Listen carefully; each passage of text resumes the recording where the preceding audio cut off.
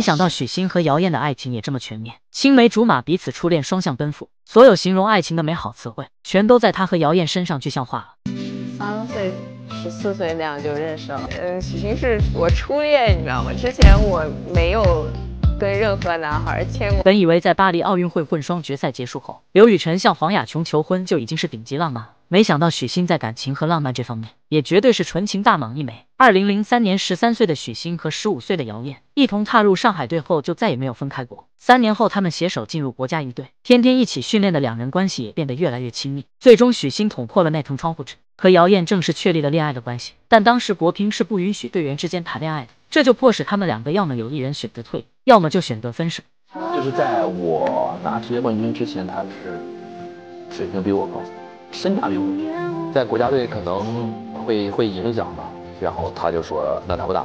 二十四岁的姚燕毅然决然的选择退役，结束自己十多年的乒坛生涯。一方面，许昕是国家队主力，他还有很多机会去为国争光；另一方面是姚燕本就含着金汤匙出生，外祖父母是上海邮电部门的高级工程师，父亲是飞利浦公司的高层，母亲也创办了自己的公司。选择退役只是牺牲了自己的梦想，但生活还是要继续过下去的。而许昕也带着女友的期望，成功斩获仁川亚运会男单冠军和苏州世乒赛男双混双冠军。二零一六年成功进入国际乒联名人堂，现任亚乒联盟副主席。大家都说许昕最大的幸运不是拿了奥运冠军，而是娶到。了富二代老婆姚燕，不过许昕也用实际行动证明了姚燕的选择是值得的。要知道，许昕九月底跟姚燕表白，十二月就买房了，而且房子还写上了两个人的名字。那年他十九岁，在少男少女春心萌动的年纪，给了他的女孩所有的安全感。二零一六年里约奥运会闭幕不久，许昕就在杨宗纬的演唱会上玩了一波浪漫。他先是给女友唱起了一次就好，然后大步走向姚燕，单膝跪地向她求婚。我希望我们能够，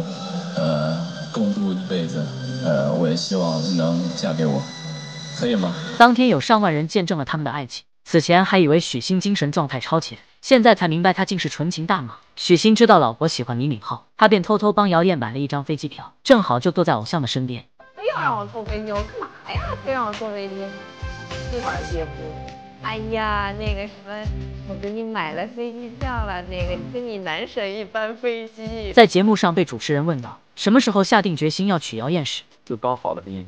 高考的第一年，第一天，第一天，就是我要跟他好，我肯定是冲着结婚去。现在终于理解了，为啥不懂球的胖子对烦许昕每天嘻嘻哈哈，和初恋双向奔赴，事业一直起飞，这样全面美满的人生，换谁谁能不高兴？